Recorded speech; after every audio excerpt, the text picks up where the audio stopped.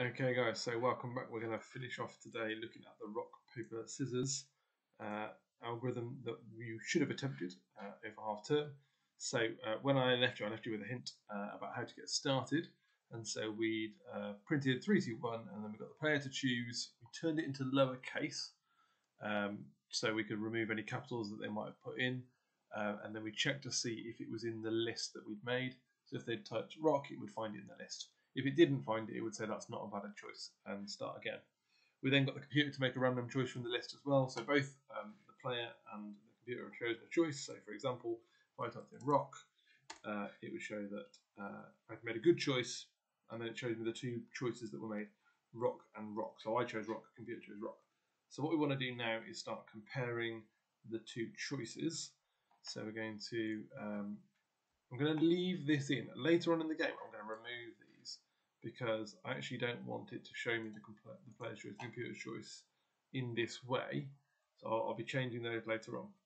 So let's do some checking. So let's go if, and let's start with the easy one. So if player equals equals CPU. So if the player's choice is exactly equal to CPU choice, then print uh, bracket speech marks it's a draw. Okay. Then I'm going to have an elif. I need to think carefully about the most efficient way to do this. So what I want to do is what I see is um, the player's choice rock, but the computer's choice is paper. So we're going to say elif player equals equals rock. So if the value of player equals rock, so if they typed in rock, then right, and there are two possible options after this, aren't there? Oh, that's right. Shift then. Uh, so the computer could choose. You can't have chosen rock because we've already checked if they're the same. It can choose scissors or it can choose paper. So I'm going to now have a second layer of if within my indent. So if the player's chosen rock, if CPU equals equals paper, so you've chosen rock, the computer's chosen paper, then you lose because the paper wraps the rock. So you're going to say print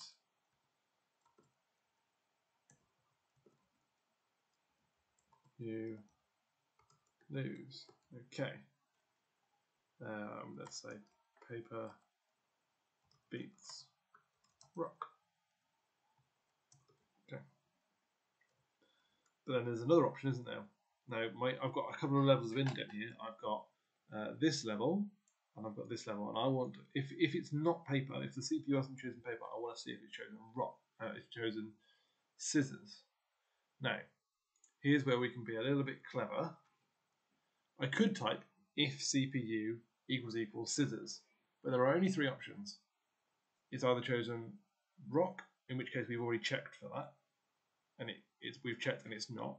It could have chosen paper. The only choice left is scissors. So instead of writing out the whole thing, I'm going to just write else, because the only other option it could possibly have is scissors.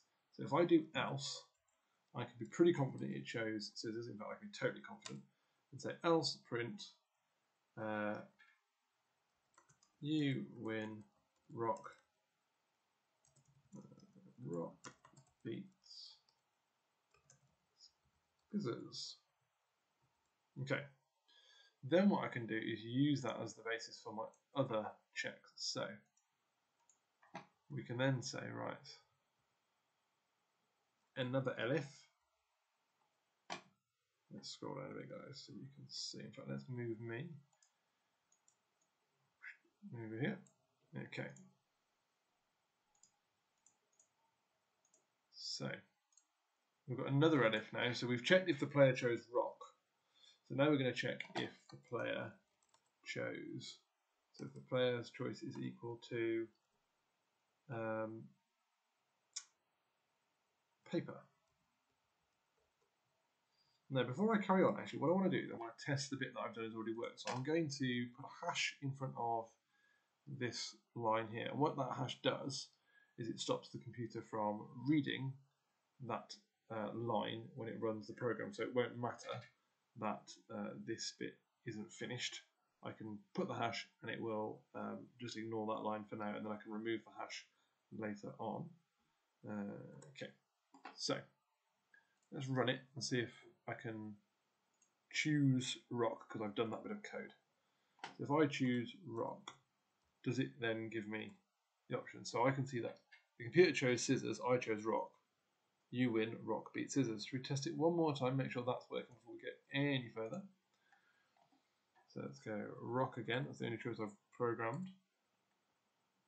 Uh, it chose scissors again. Okay, let's go one more time. I really want to see it do something different. Awesome. So it chose paper that time, and you lose paper beats rock. Brilliant. So let's carry on with this second bit. So if the player chooses paper, then we're going to do another check. So if they choose paper, if the CPU has chosen, now let's stick with our format. So I chose the one that beats it to be the, the, the first if check.